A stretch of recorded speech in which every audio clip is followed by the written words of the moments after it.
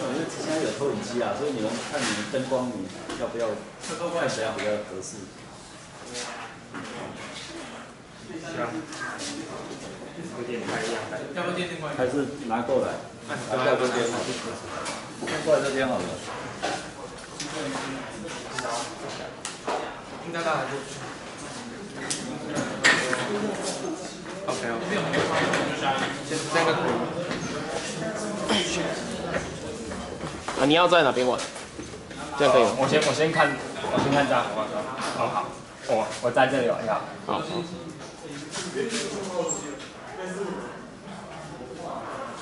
呃，这个是碰到的哦。对对。哦，场景的那个变化还不错。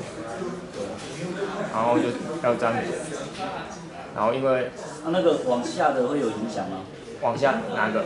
蓝色什么一滴往下那个？哦，不会不会，那那个那个雨滴都是背景这样，然后云朵也都是背景，就只有这三只猪碰到会有相对应的反应。诶，刚刚是因为 hit bug hit bug 比较小嘛，不然怎么碰到没有反应？就是刚拦住。因为因为我们设定说，如果都一完完整的话，会变成其实因为我们手这样动，会变得不太好控制，就很容易就不小心插到。对所以我们就把范围稍微界定小一点，所以是比这较松散的，对。对，这样才不会一直一直输，一直输，对嗯。因为一开始我们接近范围比较大的时候，就一直撞到，就可能刚开始玩没多久就一直输，所以我们后来就把它所以你你有那个赢的画面吗？就是过去的画面。他说不会赢没有啊。所以你们没有赢的。所以我们才说朱温防不胜防对对对，所以只有输的一刻，就是就是一直活下去，然后直到死的那呃，天。就看你你能撑多久。